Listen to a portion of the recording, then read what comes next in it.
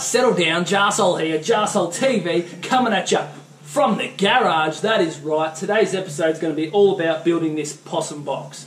It's the same design for the brush tail and it's the same design for the ringtail. The only difference is the ringtail box is slightly smaller. Today we're going to be concentrating on the ringtail because I'm out of stock. I sell these, uh, all the link is in the description below. Uh, Knox Wildlife nesting boxes. About 10 years ago, a lady by the name of Yvonne Cowling came to me and uh, with a design and asked if I could build it. Yvonne's got a Order of Australia medal for her wildlife work. Um, she's been doing it for about four to five years and she's now retired. So this video I dedicate to Yvonne. The unique thing about these boxes is the baffle at the front or the veranda. Basically what this does is prevent birds from accessing the possum box. There's nothing like this out in the market. Um, this is the only purpose-built possum box there is.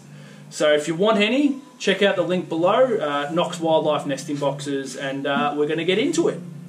So the materials that we're using today is 12mm non-structural ply.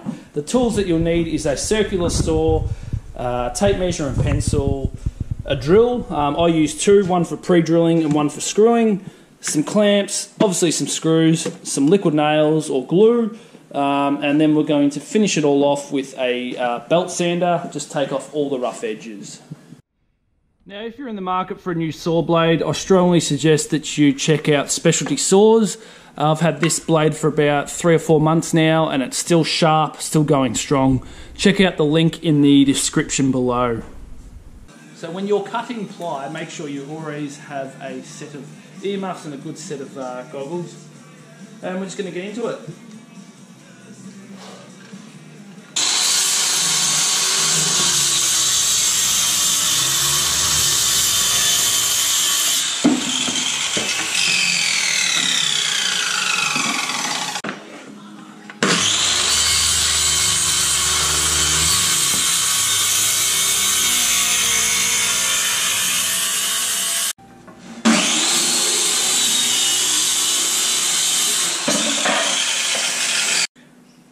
Now that we've cut all the pieces, I'm cutting the sides on an angle, um, and this angle will give it enough uh, fall so that the rain can drain away.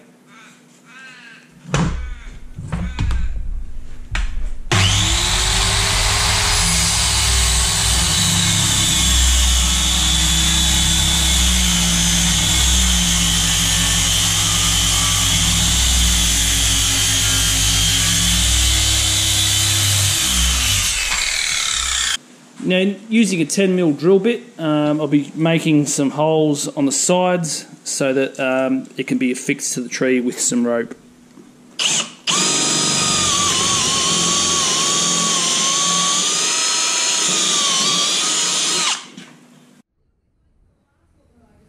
When it comes to doing the entry hole, you don't need a pedestal drill like this. You can just use a normal uh, drill.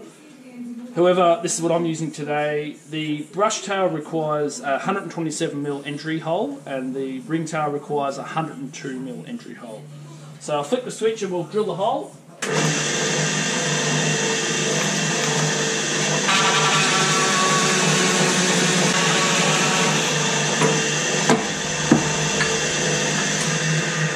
Done. Alright, we're going to start at the bottom, pick the best side. Clamp it down.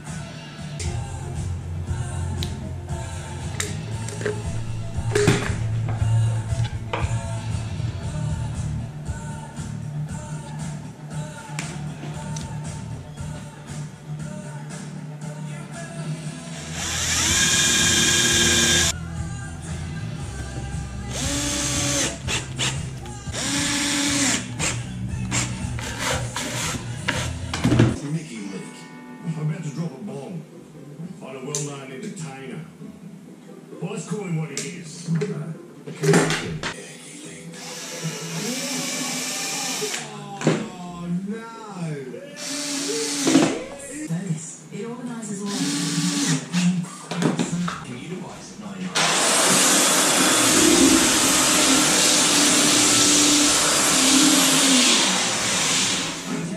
the finished product.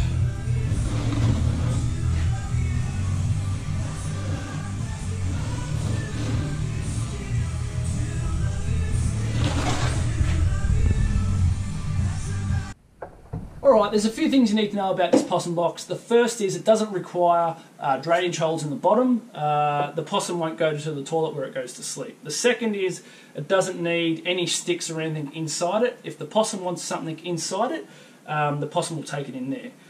Thirdly, um, this is, box has been designed so it's put in a tree and that's it. Uh, you don't need to attend to it. Leave it alone.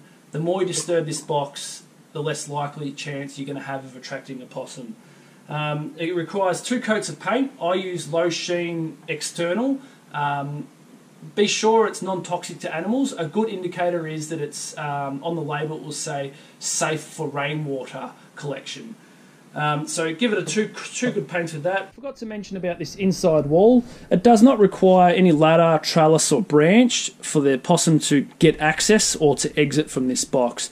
They're quite agile and they can easily manoeuvre uh, this obstacle. Alright, I am done guys. It's too hot out here and I'm going inside where the aircon is. Thank you very much for watching. Remember to hit the thumbs up button. If I get a hundred of them, I will donate 10 of these to my local wildlife shelter. Anyway, stay tuned for the next Jarsehole TV, and until next time, woo!